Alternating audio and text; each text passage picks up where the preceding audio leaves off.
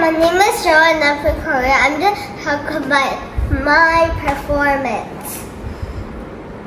My performance was Key Stage 1 has talent. And I speak. I did the shake it of my Taylor Swift.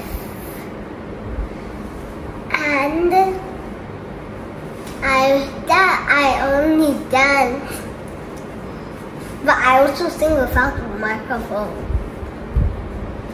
I was like, shake it out, shake it out.